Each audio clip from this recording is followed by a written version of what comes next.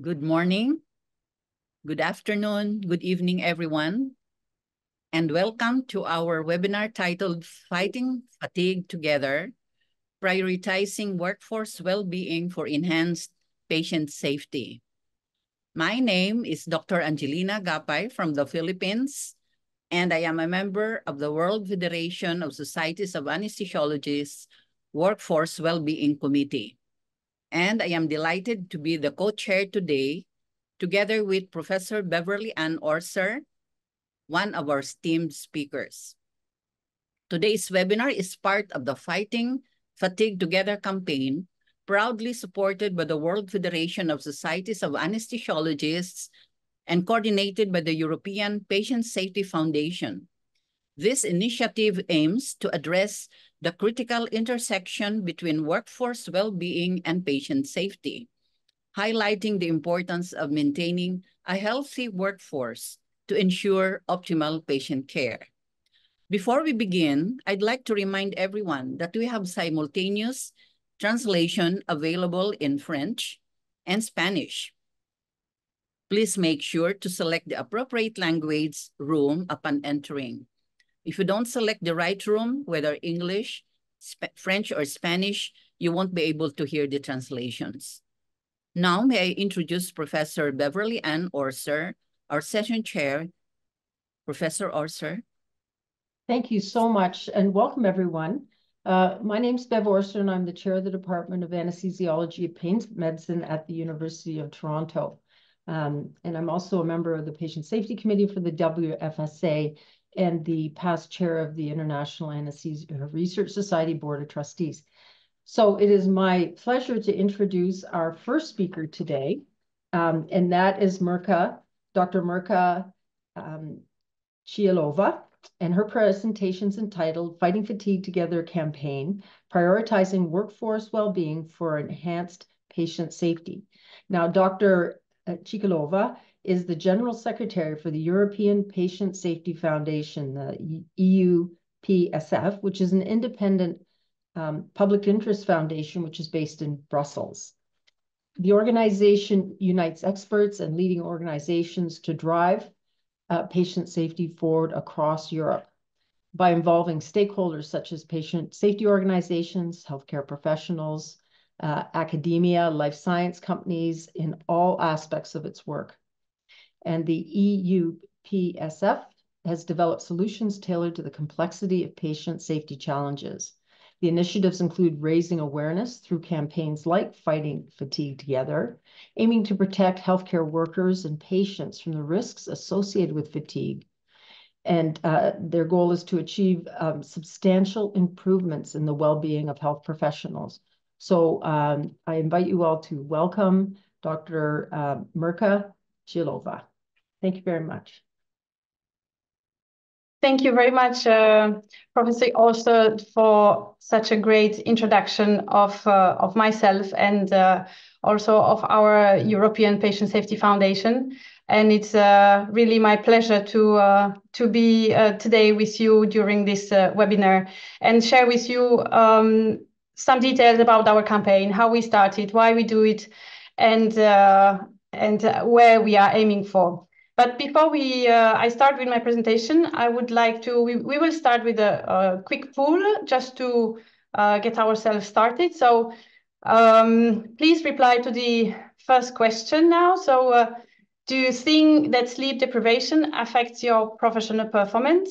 Uh, if you could choose what you think, what, what which is the correct answer for you.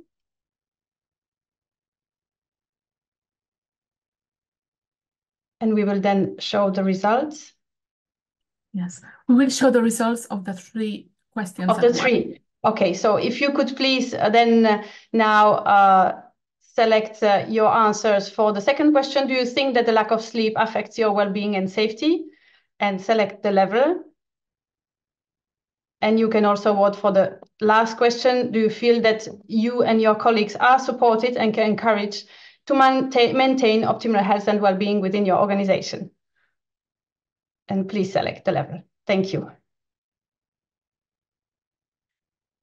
So we see that you all think, or well, the majority think that there is a huge, um, there is a significant or even extreme uh, link between your well-being and then uh, your safety as well with your performance. Thank you very much. So this is a great start for our campaign and that also explains why we are doing it. Uh, so I will now um, share my screen or try to find my presentation. Hopefully that will work. Always. Mm.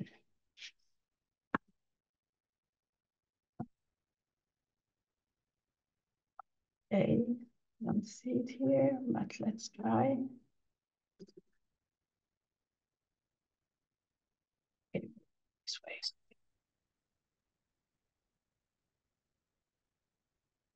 You, you can see, uh, we can see your screen. Yes, okay, perfect. Thank you very much.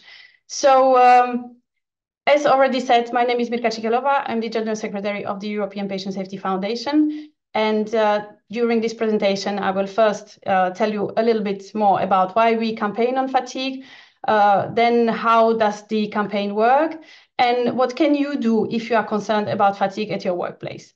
Uh, it has been already greatly introduced that the our Patient Safety Foundation. So I will just remind that uh, we are independent foundation and we really try to work with national stakeholders in Europe who are active in patient safety, being in the front line, and we uh, are working closely together with them to develop our work and uh, one of them is uh, our main uh, thing that we do is annual patient safety conference where we really gather uh, all our stakeholders to discuss the relevant um, topics linked to its patient safety. Then we issue quarterly patient safety newsletter where we talk about current issues going on uh, in Europe and also about our work. And one of our main um, parts or, or, or, focus is the Fighting Fatigue Together campaign. Uh, so as you already selected the, the, the link uh, between fatigue, there is a clear link between fatigue and uh, your performance, but also on the, with the patient safety. And we are uh, convinced that uh, taking risks with the patient because of fatigue is not meant to be part of the job. Uh, if you also, you will probably uh, feel a little bit um, aligned with this picture. And we are also convinced that chronic and excessive fatigue uh, is not meant to be part of job. So with our campaign, we want to protect patients. We want to protect, we want to ensure continuity, of care. And we also uh, want to protect healthcare professionals because we are also convinced that taking risks with your own life because of fatigue is not meant to be part of the job. Uh, so fatigue, you will probably know the facts about fatigue, and I'm not going to go into uh, detail. So even if the fatigue is uh, um, is subjective feeling of the need of sleep. There are some facts that cannot be denied and they are confirmed by, uh, by research. And there are some effects that are sometimes difficult to be recognized, some, sometimes easy to be recognized, but they are there and they uh, have a huge influence on your performance and well-being and safety, as well and, uh, as on the safety of your patients. So how the campaign started? It started in 2015 by a tragic accident when Ronnie, a trainee anesthetist from UK, lost his life while driving home exhausted. And despite of the fact that he was singing uh, on his hands-free mobile phone um, with his wife, uh, he crashed. He had a microsleep and he crashed the, into a lorry and lost his uh, life. And his colleagues, they were very much affected by this accident and started uh, and decided that they have to do something and they have to act. And in uh, 2019, 18, the National Fighting, Fight Fatigue campaign was launched in UK as a joint initiative of the Association of Anesthesists, the Royal College of Anesthesists, and Faculty of Intensive Care Medicine. So they developed um, joint statements of fatigue, of um, FAQs, uh, some uh, practical resources, and uh, our and they also did um, a survey that just confirmed what we quickly did in our pool. And uh, our patients, European Patient Safety Foundation, we became backers of the campaign in 2021. And since then, we were thinking this is not this problem is not only uh, concerned not only UK and not only anesthesiologists, and we decided uh, to bring the campaign uh, in Europe. It took us a while uh, because in between there was So we had the COVID pandemic and the situation has um, became really difficult for, for most of you, for healthcare professionals. And with our campaign, the main aim was um, to start uh, talking about the, this, uh, this problem, to start raising an awareness about the impact, and we really wanted to try to avoid bringing additional uh, burden or bringing additional feeling of guilt because of fatigue on healthcare professionals. So that's why we launched a call to join us with this on this campaign. And this call was aimed for not for healthcare professionals as individuals, but we aim and we still aim mainly for working directly with um, different organizations that have uh, some kind of secretariat, that have resources to build their own national campaign. So this is a short video to show you about our call.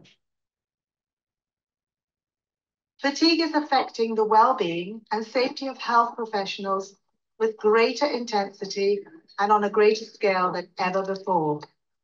This is leading to unseen levels of burnout, mental health problems, and people leaving the profession, endangering the continuity and quality of care in Europe. Let's face it, fatigue is only one of the symptoms of a deep crisis.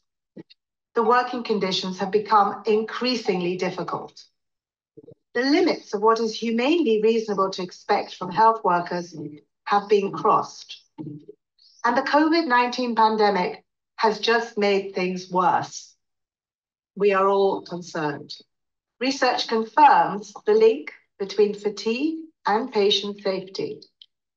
Health professionals suffering from fatigue are much more likely to be involved in incidents where patient safety is compromised. In some countries, healthcare workers have taken action to make their voices heard. They called for change. They went on strike. They threatened to resign. And yet they don't see any significant improvement. Imagine if we were to join forces. We call on all organizations working with health professionals on a European, national, and local level to start fighting fatigue together.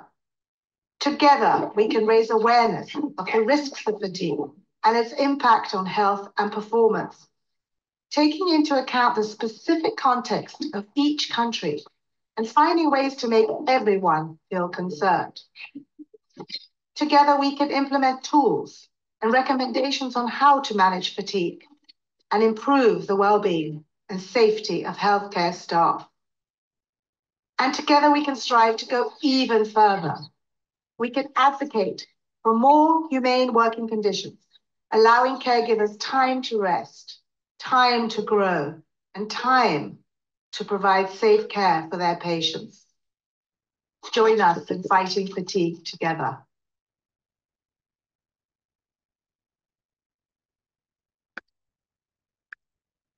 So we started the campaign, in, we launched it in April uh, 2023 in collaboration with our affiliates and, uh, and other organizations closely working with us. And then uh, we have we, we have now more than 20 uh, organizations supporting uh, the campaign. WFSA is uh, among among them. And uh, what we did, so we developed a website that you have seen because uh, the the information about webinar was there as well.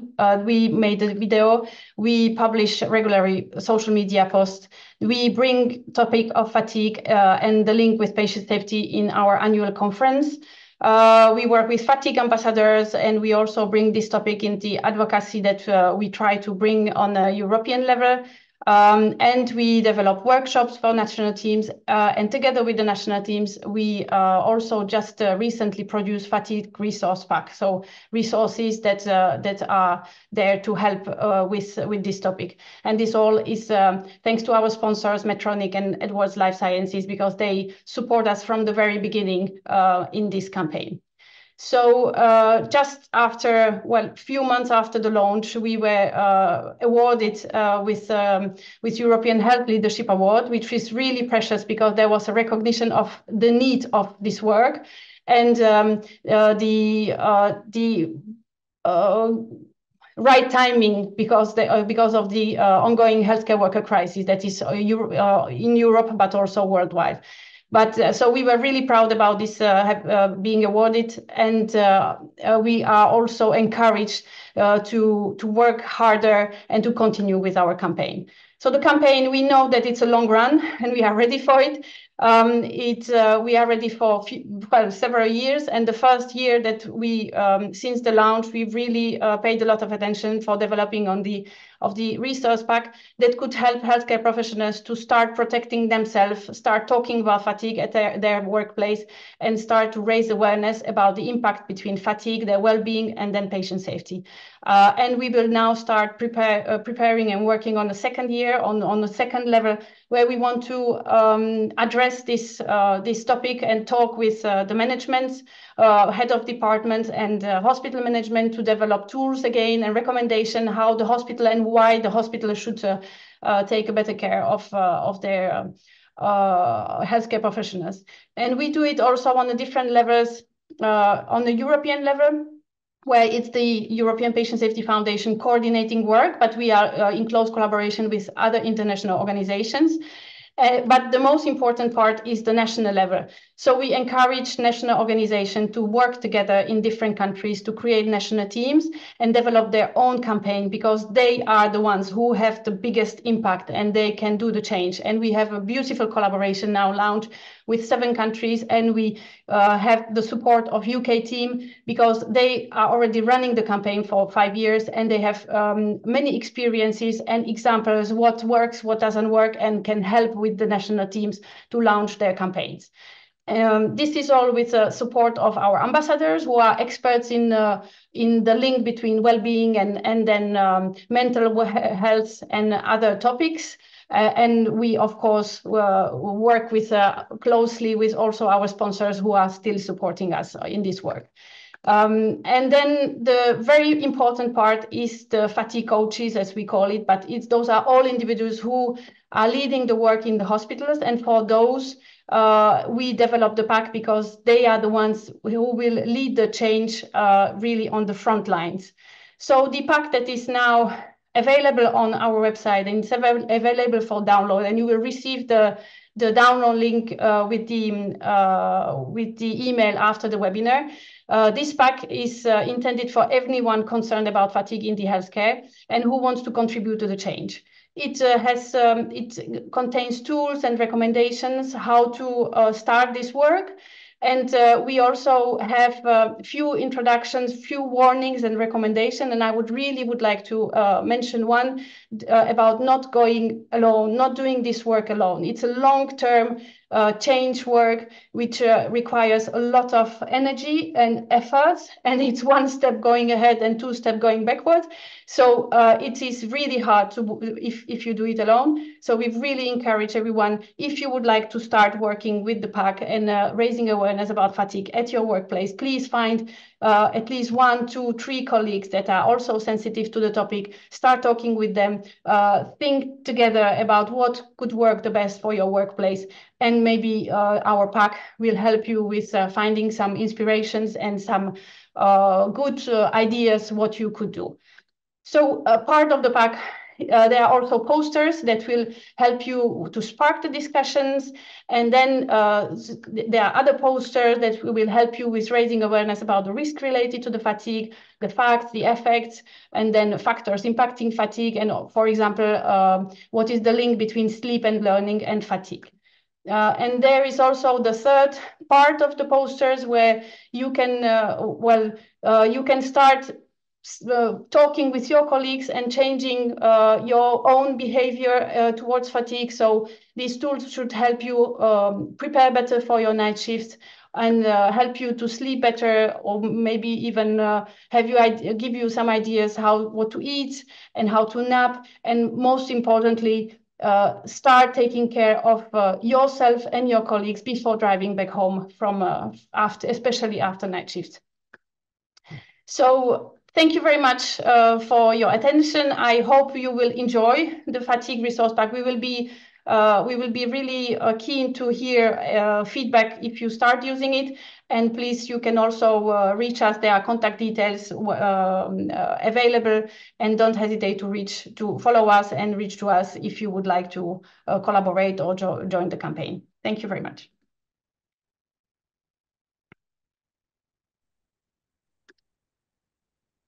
Thank you. Thank you, Mirka, for setting the tone of the Fighting Fatigue Together campaign and sharing with us what the European Patient Safety Foundation is doing in this initiative. Thank you. Now we move on to the next uh, speakers. Our next speakers are Dr. Beverly Anne Orser and Dr. Tyler Law, who will present the human factors concerning safety. Dr. Beverly Anne Orser is professor and chair of the Department of Anesthesiology and Pain Medicine at the Faculty of Medicine, University of Toronto, and the chair of the board of the International Anesthesia Research Society. She's a practicing anesthesiologist at Sunnybrook Health Sciences Center in Toronto, Canada. Dr. Orser's clinical studies and advocacy work focus on patient safety and the anesthesia workforce in Canada. She has co-founded several patient safety organizations and has made significant contributions to understanding the molecular basis of anesthesia. Her work has been recognized by numerous prestigious awards, and she is an international member of the United States National Academy of Medicine. Dr. Orser is a member of WFSA's Safety and Quality of Practice Committee. Dr. Tyler Law is an assistant professor of anesthesia in the Department of Anesthesia and Perioperative Care at the University of California in San Francisco, USA. He joined UCSF as the first Global Health Anesthesia Fellow and is part of the HEAL Initiative Global Health Fellow. Dr. Law completed his residency in anesthesiology at the University of Toronto and holds a master's in science in health policy, planning, and finance. His clinical activities are based at Zuckerberg San Francisco General Hospital, and his research focuses on optimizing the interface between the surgical system and the broader health system. Let's all welcome Dr. Beverly Orser and Dr. Tyler Law. Thank you. Let me just pull up the slides here. Okay, I think you can see that. Yes, we can. Yeah. Great. Um, so thank you for the kind introduction. I'm going to talk a little bit about uh, the human resource factors uh, and anesthesia safety. So human resources, and by that I mean, uh, what are the things, the broader things that go into the, the origins of fatigue in our system? Um, and one of the important things is numbers. This is the, the problem of workforce quantity. And I ask you this because it feels like we're all working overtime. And I wonder if that's a feeling, I certainly know that that's a feeling I have. Uh, and I wonder if that's something that's common among uh, the rest of the group here. So one ask, one can ask, maybe this is a real feeling, and maybe that's because uh, there really are too few providers if you step back and you ask on a population level, do we actually have enough anesthesiologists uh, and anesthesia providers to do the work? How many do we need? Well, uh, here's some data from the Lancet Commission on Global Surgery, which I think many of you have seen, which suggests there are 20 uh, per 100,000 surgeons, anesthesiologists, and obstetricians um, needed per country um, or per population in order to provide care. And when you talk about anesthesiologists, we need five per 100,000 anesthesiologists. Well, how many, how are we doing? On a global level, we overall meet this threshold. There are 8.8 anesthesia providers per 100,000 globally. That sounds great.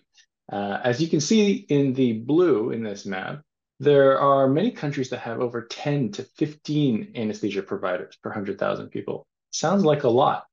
Um, but I'd also draw your attention to the fact that there are a lot of countries with too few anesthesia providers as well, uh, which makes it, no matter what you do, the very difficult to provide the level of anesthesia service uh, that the population requires. But what about countries, uh, certain regions specifically? If you take a comparison, you look at the blue bars, you can see that the anesthesia uh, physician providers per 100,000. So certainly some countries are doing um, well. If you see in the European region, most, if not uh, almost all European countries surpass the minimum threshold. um, for anesthesia providers. But uh, take the same threshold in the African region, and it's very difficult, uh, and many countries don't approach, even when you consider non-physician anesthesia providers in the threshold. So you can already tell that starting from uh, the macro level, uh, it's going to be very hard to to um, address uh, the anesthesia provider workload um, without an adequate number of providers. What are the patient issue safety issues stemming from too few providers? Well, we can talk about a few things which are, I think we intuit um, already. Increased morbidity and mortality rates are certainly something that we anecdotally think of when we have, uh, we know we don't have enough people. And we all feel this compromises patient safety there's many ways I can show this, but uh, one that always makes me um, think of, and I, as you heard from the introduction, do a, a lot of global health work. So a lot of um, my examples are from uh, East Africa, where I do some other work. This is data from ASOS, the African Surgical Outcome Study. There's two points I want to highlight here. In this study, they looked at the mortality in uh, a group of African countries and found that in Africa, the, the post-op mortality rates were twice what they were in the international study. You can see that in the all-cause mortality. Why? A clue might be in the human resources, in which in the discussion of this paper, they said they found only 0.7 providers per 100,000 and attributed part of their findings to the scarce resources. Secondly, I want to point out uh, that you can see that the mortality following post-operative complications was significantly higher than um, uh, the mortality overall. And one attribution to this is failure to rescue a deteriorating patient. And this really stood out to me again because this is also a lack of staff issue, but this includes the postoperative staff. It's an example how members all along the surgical pathway can influence um, surgical outcomes. Other patient safety issues are delays in surgery and prolonged wait times because of the lack of providers. Now, I might ask you, what country do you think would have this press release? It says shortage of anesthesia anesthesiologists impacts delivery of surgical acute uh, services. More residency training uh, is needed. Well, you might be surprised to find out that this is Canada, where around there are around 9.5 physicians per 100,000 people, supposedly well within the threshold. And this is because of a number of factors, um, but also because uh, of the shifting demographics in the workforce and as the anesthesia workforce, the, the uh, population uh, itself, um, as well as the geographic makeup of where the providers are located. And this is not an isolated problem. Here's another recent headline from a, a different Canadian province talking about uh, delayed surgeries due to anesthesia staff. And again, uh, a recent, uh, very recent from just um, last month in the NHS, where um, a shortage of nearly 2,000 anesthetists is uh, likely causing a, uh, a, a, miss of operations in the NHS of uh, over a million operations. But this can have more immediate implications as well, other than um, delays to surgery. This is Mulago National Women's Hospital. It's a specialized women's hospital in Uganda. It delivers uh, have about 15,000 deliveries a year. Uh, as you can imagine, a lot of these patients require specialist care, including care from anesthesiologists. My friends and colleagues work here. We know firsthand that there are times when they're forced to be in discussions in which uh, among about which patient to take next to the operating room. For example, the patient with a newly diagnosed abruption or the mother with prolonged arrested descent. And these are difficult choices to make, and they stem partly from the lack of anesthesia providers, as they can only work on one case at a time, and there's not enough to take every needing patient at the same time. The patient safety issues include inadequate pain management and anesthesia complications. So again, I might ask you, if I showed you this chart and I asked you might, uh, to guess what country would, would this be? So this is showing the proportion of uh, rural counties that have no surgeons or anesthesia, uh, anesthesiologists, rural and non-rural counties. Um, and if we look at the percentages in the rural counties, up to 80% of rural counties had no anesthesia providers at all. Where is this? This is the United States. This is a country where which has over 15 uh, physician anesthesiologists per 100,000 people, and far more than that if you consider the nurse anesthetists in the count of anesthesia providers as well. And yet somehow we have areas with no anesthesia access in the rural hospital. This is a problem of geographic maldistribution, where even if the number of providers is adequate overall, they're so heavily concentrated that services aren't available in other parts of the country. And to bring it into a, a specific example, this is the Navajo Nation, which is a, a tribal land um, in the United States. It's an indigenous area in the United States, which struggles to hire and retain anesthesia workforce. This is the hospital at Fort Defiance, and there are a small handful of anesthesia providers here, and access to services can be uh, limited. What this means practically, these are the words of my friend and colleague, Sam Percy, uh, who worked in Navajo Nation, an anesthesiologist, who, who talks about how epidurals are only available for labor and delivery at two facilities. At facilities with labor epidurals, without labor epidurals, pain in labor patients is managed uh, with single shot intrathecal opiates and intravenous opiates. Barriers include anesthesia, increased anesthesia and provider workload, as well as other things which prevent labor epidurals from being adopted across facilities. So there are real impacts to the uh, lack of anesthesia human resources to patient safety and, uh, and uh, quality of care. Lastly, one thing we don't often think of is how the lack of human resources begets lack of human resources. Um, in this case, I mean challenges with uh, recruitment and retention. I have several colleagues, uh, friendly colleagues in Uganda, where we discuss workforce a lot. Here in, in Mbale, uh, we did training courses for anesthesia officers working in rural districts. Uh, one of them uh, talked to us about what thing was most challenging. She said how she cares a lot about her community, an anesthetic officer, uh, and wants to be there for every mother who might need her during a spinal for C-section. But it's hard that she's the only anesthesia provider in her district hospital even coming to the training, she knows there's no anesthesia at her hospital and the patients would need to be referred while she's gone. Who wants to work alone? Nobody turns out. The lack of providers impacts patient safety by making it harder to recruit and compounding the other factors. So we did this study um, here in Uganda um, that looked at the factors affecting the decision to work rurally for anesthesiologists. And we see here in the top two important factors were how good the quality of care in the facility they worked in was. It was nearly matched by having the presence of a colleague. And these two outweighed the salary um, that you might think of as coming first. Turns out nobody wants to work alone. Um, and the lack of providers impacts um, the ability to recruit further providers.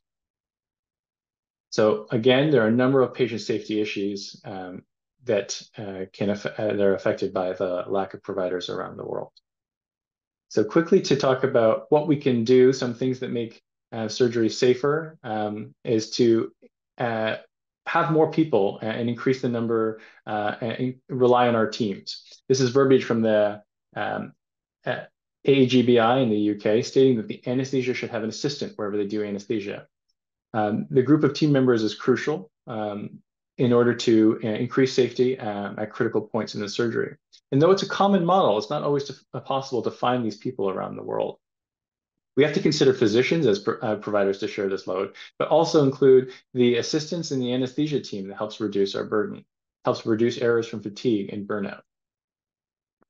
Think about how teams can share the load. There are a lot of tasks we perform uh, and uh, lots of places to share or delegate. It's not always possible for a highly skilled physician to perform all the tasks. And as mentioned in the ASOS study, other parts of the perioperative pathway affect uh, patient safety, um, and the lack of providers in any step of the pathway can affect this. We must share tasks, allocate resources, and increase training volume to increase to reduce our um, burden. Um, so I'll end there, but if you're interested in further workforce data, you can check out um, our new uh, release of workforce data here. And I'll turn it over to Dr. Orser here. Thank you. All right, thank you very much, Tyler. Now I'm mindful of our time, so I'm going to share my screen, but really just jump to the bottom line because um, Tyler has highlighted the problems very clearly. Um, I'm hoping you can see that, but I'm going to speed yes, right we can. Okay. Um, so just to let you know, in Canada, we have three groups of physicians. Specialists who have done five years of training, family docs who do two years of basic training and then one year intense anesthesia, and a small group of physicians who provide anesthesia care in, um, say, emergency rooms. Now, we went to the Canadian Institutes of Health Information, which has all our national uh, billing data for insurance to ask who's providing care where. And I want to skip to the bottom line is that you can see that our workforce is plateauing.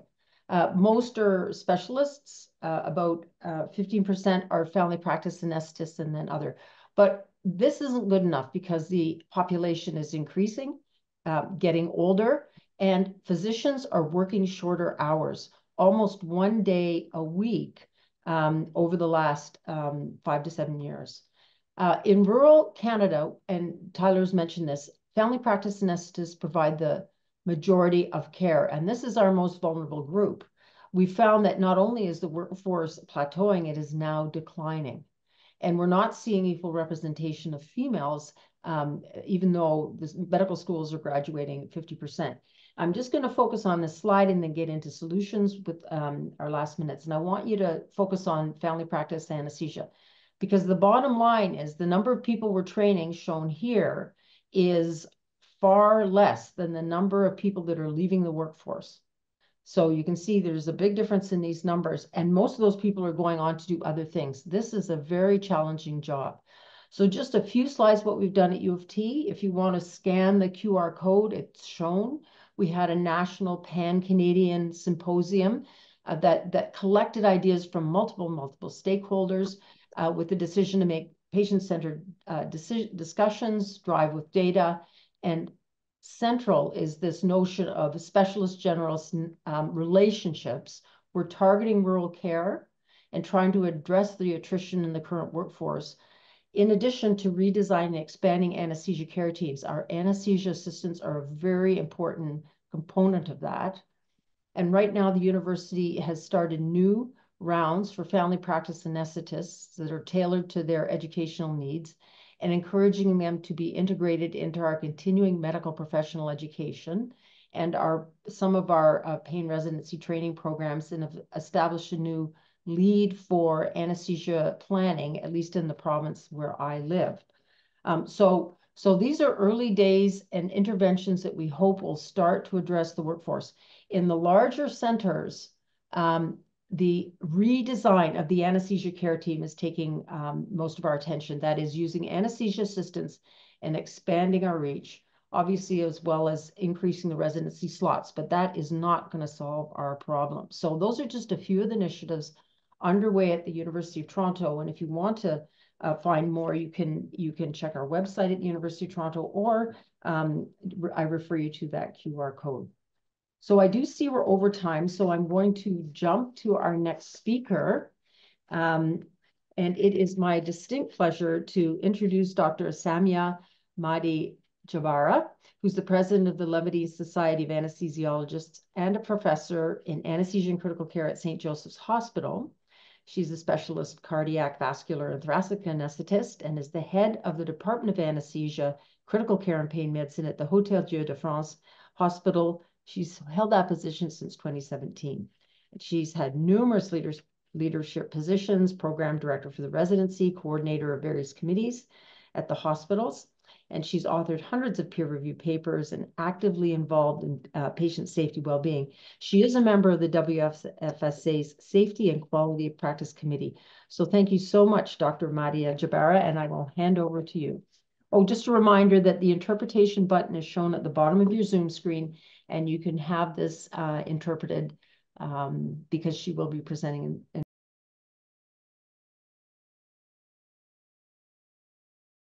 in in French, but all of my um, supporting uh, presentation should be in English. So I would like to thank the organizing committee that allowed me to participate in this event. The subject is extremely important.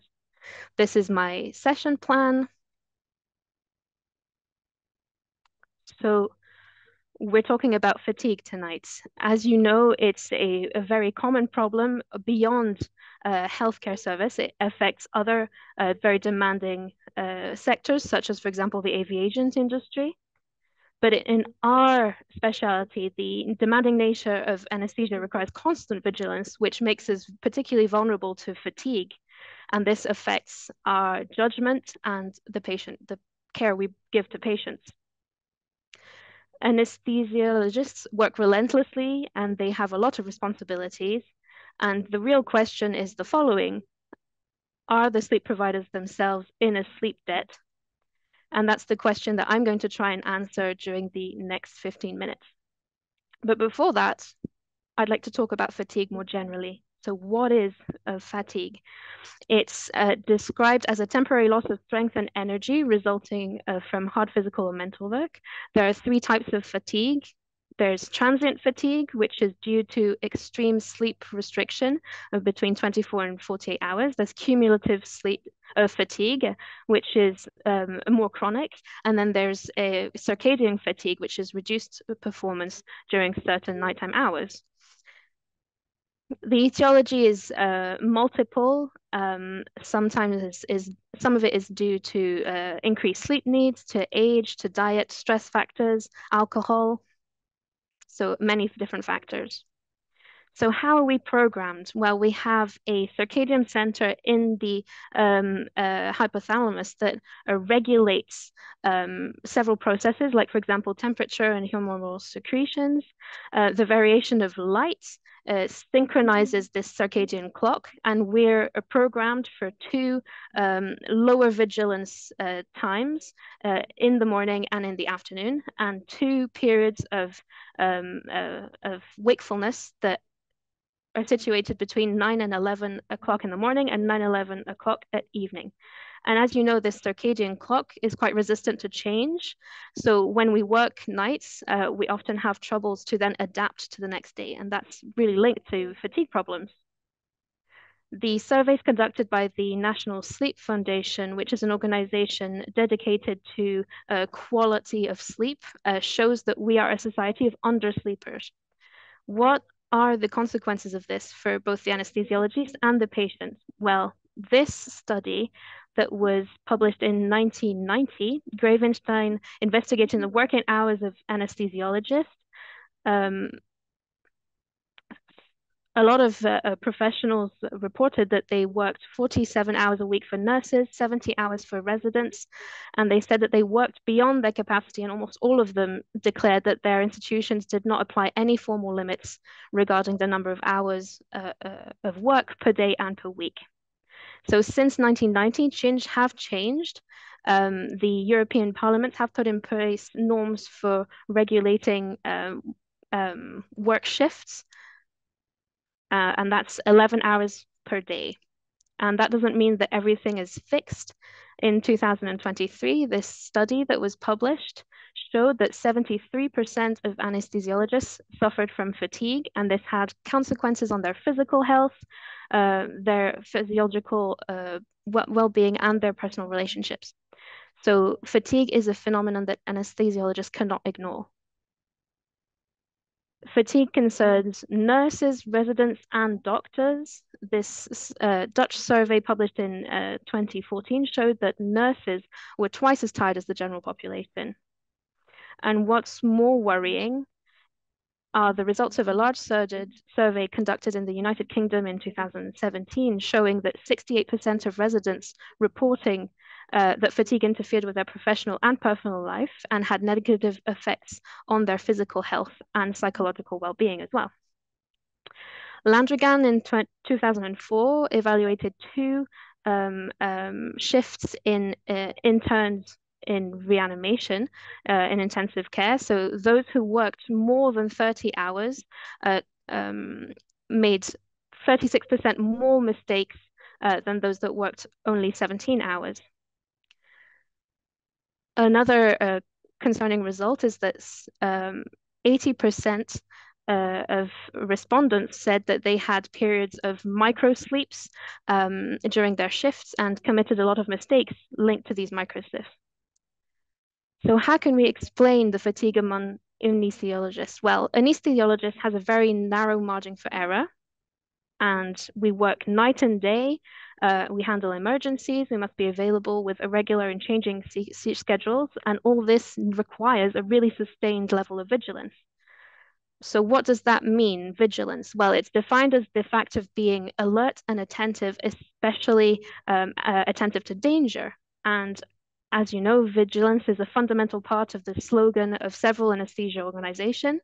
Um, and the American Society of Anesthesiology actually has incorporated the word into their seal. But keeping up this level of vigilance is uh, a real problem because it, it, causes mental and physical stress, sleep defense, uh, deficits, and that actually leads to a lack of uh, vigilance, paradoxically. And if you have a look at this interesting uh, survey that was published in uh, 2021, 59% uh, of anesthesiologists are at a high risk of burnout. And this and 30, 13% uh, sorry, showed signs of burnout syndrome. And when you see the causes of this burnout, you can see there's working 40 plus hours per week that is listed as one of the causes. This uh, study that was carried out over 18,000 uh, doctors who were invited to indicate the likelihood of them leaving their current institution within two years because they're unhappy. Well, you'll see here that anesthesiologists are at the top of the list of people who wanted to leave.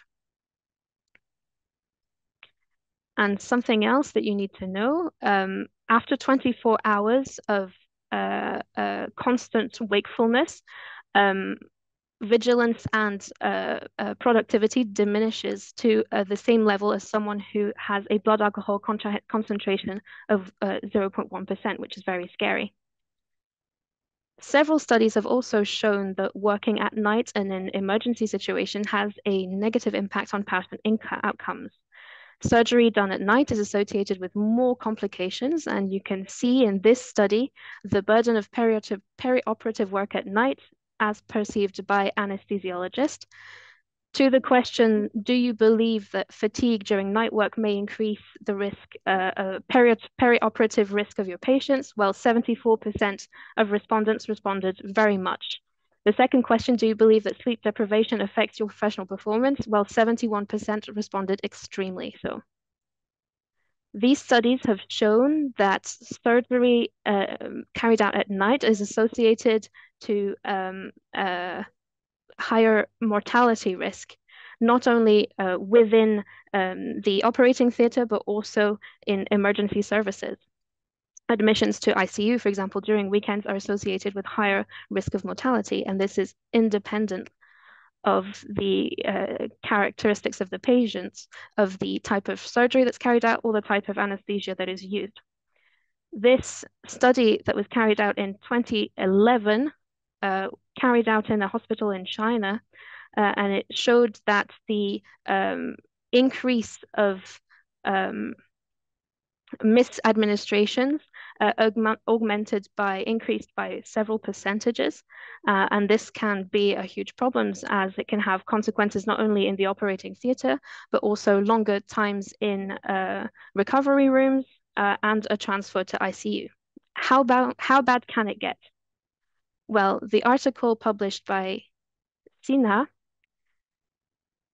which is titled the tired uh, anesthesiologist is it a threat for patient safety?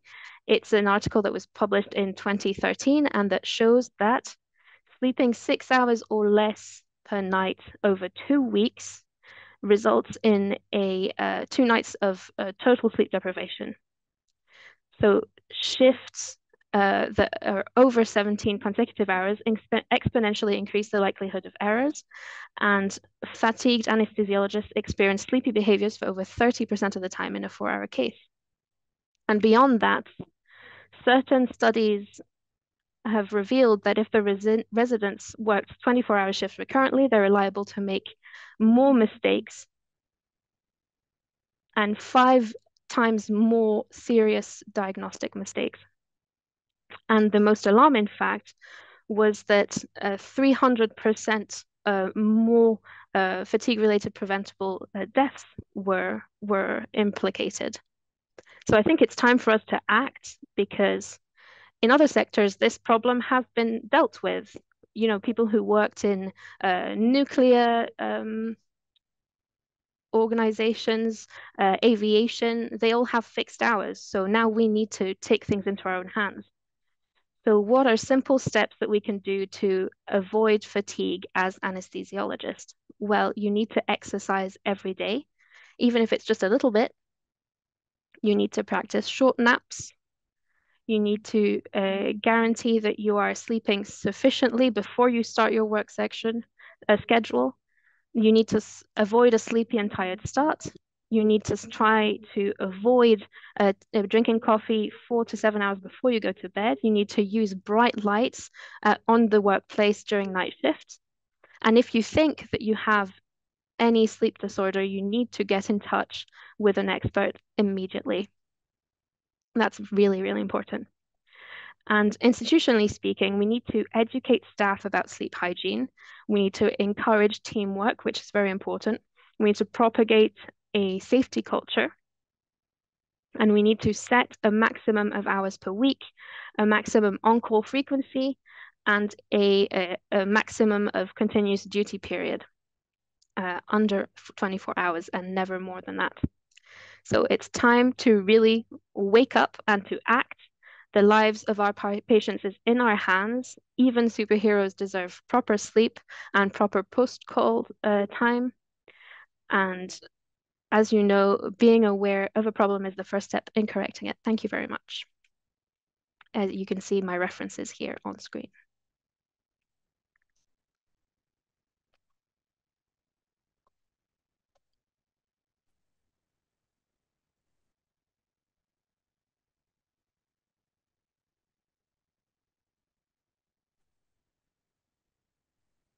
Okay.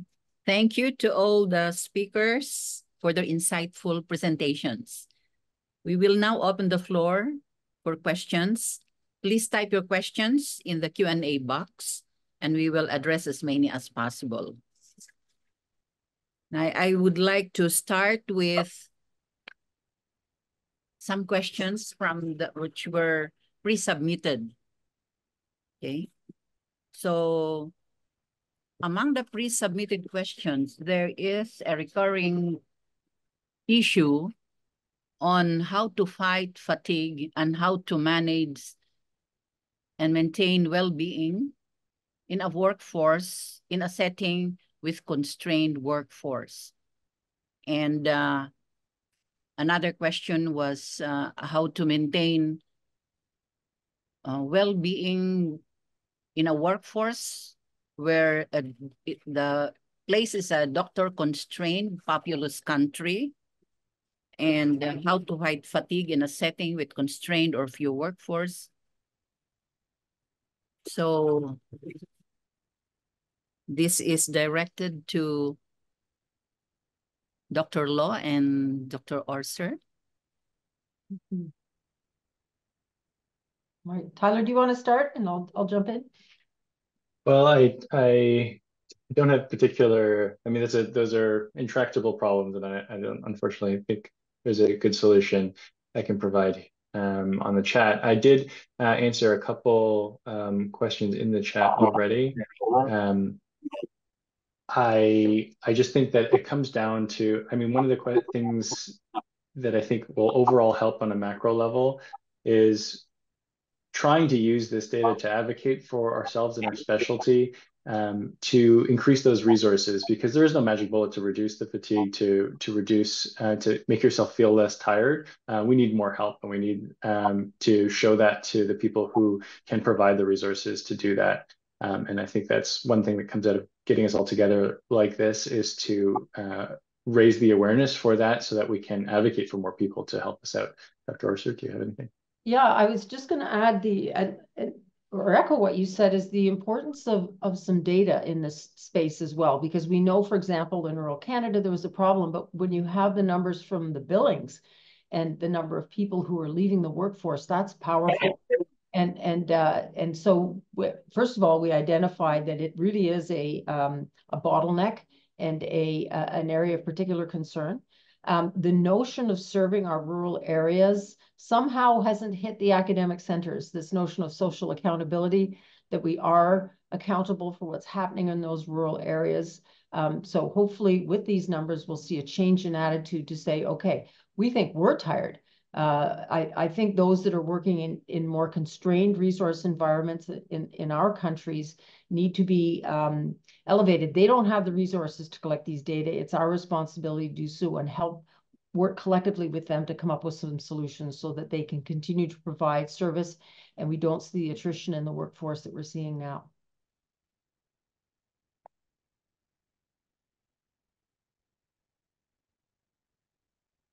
Thanks, Dr. Gapay. I'll send it back to you. Okay. So there are also questions on regarding the um, how to quantify fatigue and how to decide cut, cut off level and how to decide fitness for duty again. Dr. Samia, you may want to answer this. Uh, yes, I think it's very difficult to have a cutoff and uh, how to evaluate fatigue. I think there is symptoms of fatigue. When we have symptoms, we have to stop uh, working. And uh, I think uh, 12 hour per day is enough to work for anesthesiologist. And uh, one on call per every four day, it's the maximum that we have to do. And I think the teamwork is very, very important to avoid, uh, to prevent uh, fatigue. Okay, thank you.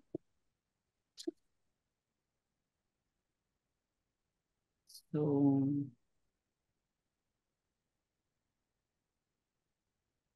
oh, here is another question, a pre-submitted question.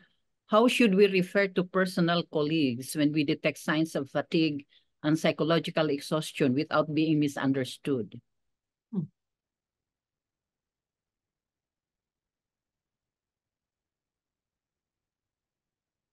So anyone?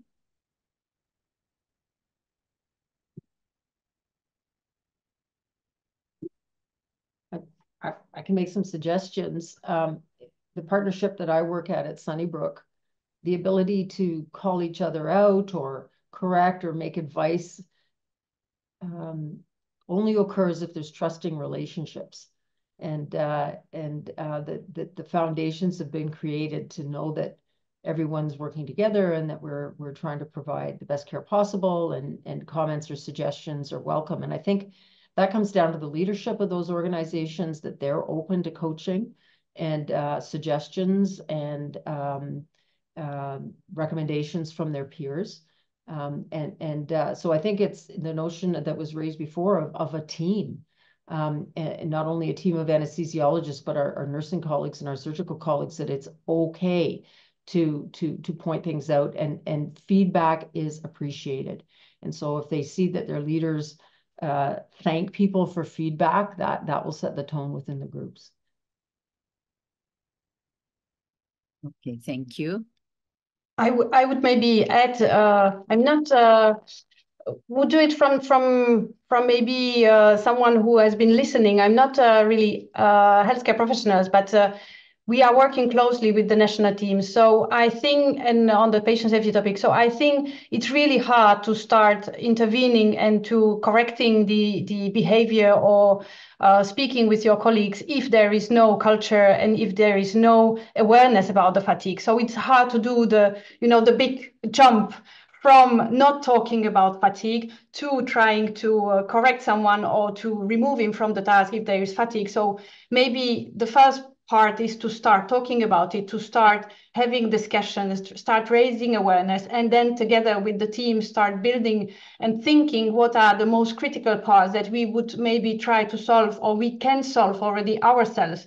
Because it is the problem with shortages and with uh, lack of staff. This is not only uh, for anesthesiology. This it's it's it's not only uh, in Europe, it's worldwide problem. It's difficult to retain uh, healthcare workforce. It's difficult, difficult to bring new people in the system. So this will not be solved. So the, the first thing that you need to think is what can you do in your department level, on your team level, and how can you, you know, start protecting yourself? It's a lot. There are lots of things that you can do, and I, I maybe Nancy Redfern, she's uh, listening in our UK team. They could tell you small steps, and we try. We will try maybe to organize a new webinar about uh, what are the small steps that you can do to start this work? Because it is possible and she would tell you that yes with small steps but you can you can do it. And we would encourage you to first start raising awareness and to start talking about it. That's already great uh, you know first step you can do. I can add something but i will do it in french nous, au Liban, on a beaucoup de problèmes de manque à cause de la situation économique et à cause de la situation politique. Donc, les anesthésistes sont en manque et euh, ils sont fatigués. Ceux qui ont la chance de travailler dans un grand hôpital où il y a une équipe, le travail d'équipe est très important parce que euh, on en parle de plus en plus. Et puis, il y a des secteurs en anesthésie qui sont plus faciles que d'autres. Donc, si un anesthésiste souhaite se reposer un peu parce qu'il est très fatigué, on peut l'affecter à, un, à, un, à, une spécialité qui n'est pas très, euh, très fatigante. Mais euh, tout le monde n'a pas cette chance de travailler en équipe, malheureusement. Et euh, vraiment, la fatigue est un vrai, vrai, vrai problème.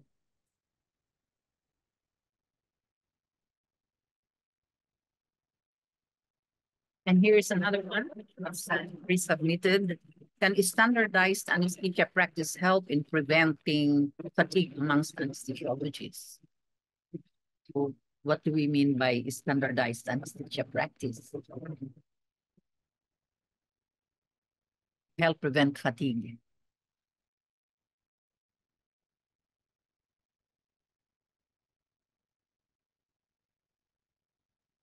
We have to encourage the naps every day in the OR.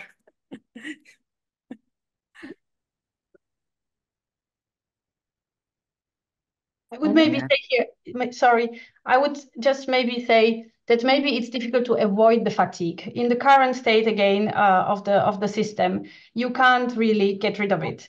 The question is, how can we manage it?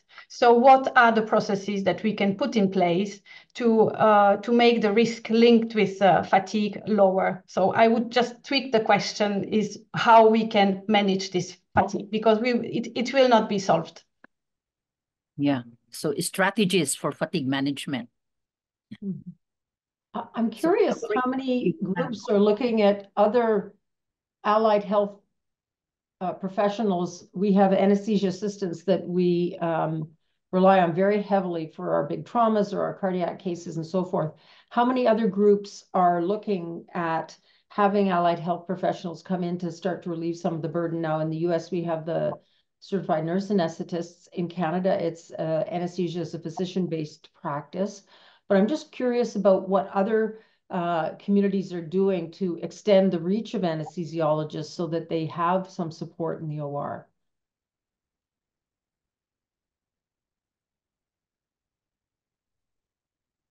Uh, in Lebanon, we have nurse anesthetists.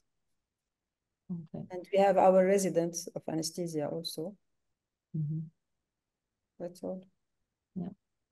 You know what? Having worked in um, Canada and the United States, um, we also I now am exposed to the nurse anesthetist, which really increases the amount of uh, uh, cases that we can safely be involved in. Um, I think, but also, you know, we just completed the workforce survey, which I know a lot of you are talking about in the the chat. This is the the updated data to the 2017 survey, um, and one thing that I think we would have liked to have captured more, um, perhaps in the next round, is not just the physicians and some of the non-physician anesthesia providers, but also other members of the anesthesia team, like um, our technicians, our anesthesia assistants, um, who provide a level of support which really reduces the amount of effort I have to put into my day when somebody can help prepare equipment, who knows how to help me in an emergency, um, even if they're not a frontline clinical provider of anesthesia, uh, it's um, I think they're critical to our our overall level of fatigue and burnout.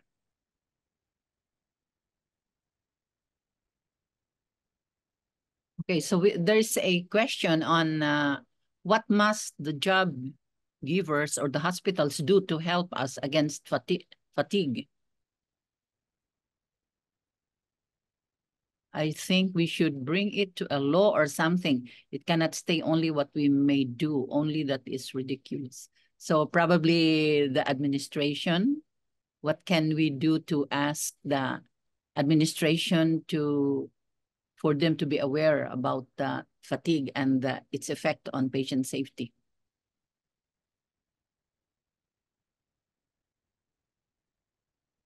So how do we convince the administration? Hmm. We can show them the surveys and the studies. so they saw that fatigue is really dangerous for the outcome of the patients.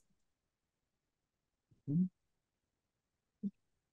This is exactly the question that we, are asking ourselves for our second year of the campaign. So uh, we will be working on, on this and we will uh, be developing a strategy how to uh, address the topics and how to make the hospital aware and what are the arguments that we should be using for, for, for them to listen. Because we know from UK um, Fight Fatigue campaign that's been running now for five years, that uh, it was and it's still the, the most difficult part to convince hospital management.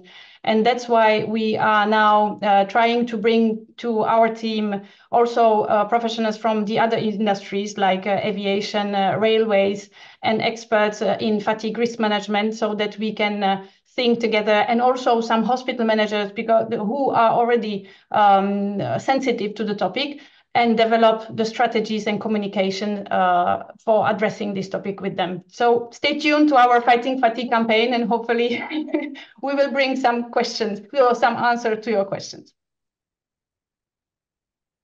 No, I, am wondering if folks have had any um, luck um, convincing the ministries of health, that's the group that funds our residency spots and our postgrad offices to expand the residency.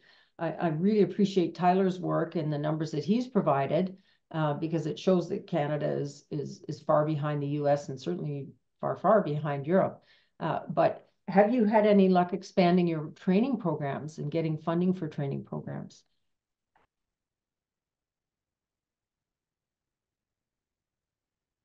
Sammy is saying no. No, yeah. It's interesting. Yeah. I, I, I'm, I guess we have to, you know, form a very compelling, articulate narrative to expand the residency programs uh, based on data. Um, but we're gonna we're gonna have to campaign because uh, somehow the concern is not being heard. Mm -hmm. So any other issue? What are the other questions here? Oh, here there is one. I come from India and we are very far from 48 hours per week kind of working hours. We work 65 to 70 hours a week. And uh, as a senior member of the department, I have many responsibilities and I come back and complete my tasks. So it's, it's a problem for senior anesthetists who have uh, clinical work and then administrative work also.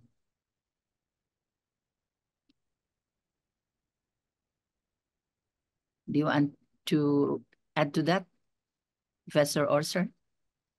I was just going to say the um, one thing we're trying to do is is look at attrition in our workforce. Um, yes, we can train up more, but we want to keep the folks that are well trained and very experienced in the workforce. And our senior people are um, are retiring, and our workforce is is older, and and uh, the average age is is increased in the last substantially in the last few years.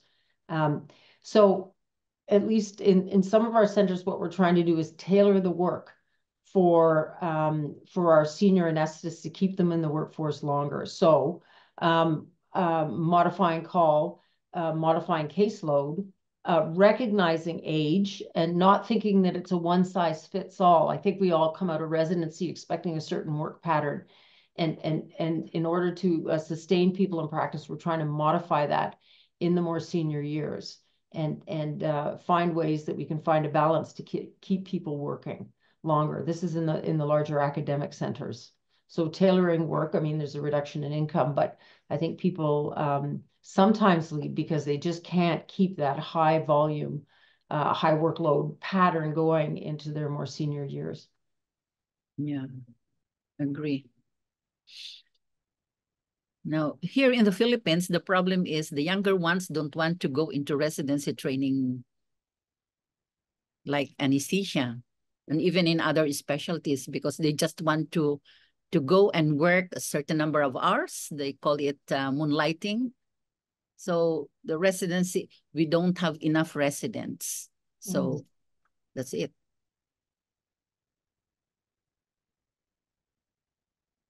Well, I must say that's not a problem in Canada. Anesthesiology is an extremely popular specialty. Um, it's it, it, gets far more applicants than um, positions. And I think, Tyler, it's the same in the US that the medical students are very interested in anesthesiology. I think sometimes they mistakenly think it's quotes a life lifestyle specialty. Oh, how wrong! But but um, it is very popular right now. Okay. So there's there are two questions here. What do you take as uh, suggest taking uh, supplements? What type of supplements to fight fatigue, and what type of exercise to do to fight fatigue? Mirka, can you tell us? I wouldn't say I'm the best uh, person to uh, to reply because, as I already mentioned, I'm not a healthcare professional, and I'm uh, personally really um, very sensitive to uh, to sleep deprivation. So um, I'm really not the right person. I really need eight hours of sleep and uh, some naps on the top. So uh, I would suggest other speakers to to reply to this question. Dr. Samia. I don't know, maybe vitamin C, maybe, I don't know. But if we can, uh, uh, in the morning, run 15 or 30 minutes, I think it's really very, very good. I used to do this for many, many years, and uh, it's it gives us a, very, a, a good push. So uh, running or uh, or walking in the morning, like 5 a.m., 5.30 a.m. is really very good. Hmm. And the naps are very good in the afternoon we don't do this, but I think it's very good. Mm -hmm. Is there a staff fatigue monitoring system? Does it exist? I don't think so.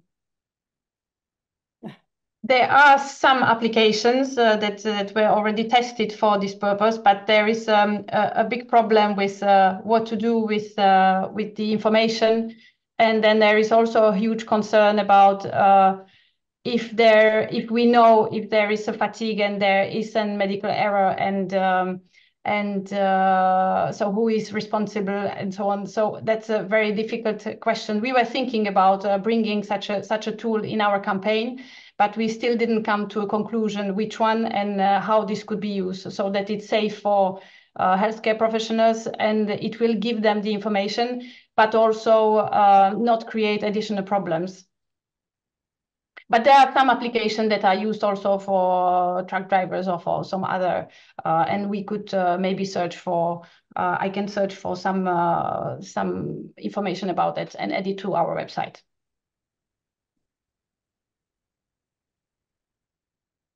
Mm -hmm. We still have the Q&A box.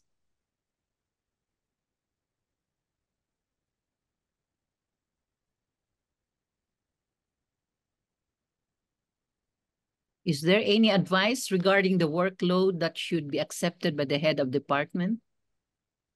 Mm.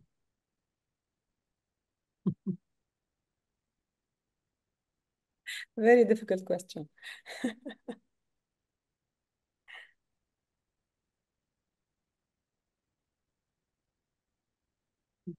from uh, in low middle income countries.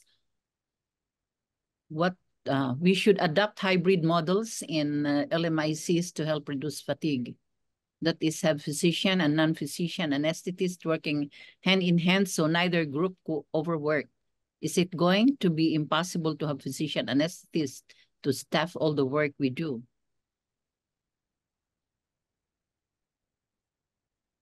Mhm. I, I think that's the model we're going to be looking at as well. Uh, and, and the CRNA model is, um, as Tyler mentioned, um, you know, effective and, and, uh, and we're looking to grow something similar. We have the structures in place now and just expand that. One thing that I think is important to think about in your in terms of your model is like there are very conflicting studies on whether or not uh, CRNAs uh, in the United States increase access to care. Um, and that's partly because of the same reason is that every human being wants to work where there are other human beings, including CRNAs, and they don't, and people don't want to work in rural areas. Um, and so I don't, we still have to think about the question of geographic distribution and what are incentives to to help people come out of the cities um, and and live have a meaningful live and work environment uh, in places that need their care. Mhm. Mhm. I think uh, our time is up.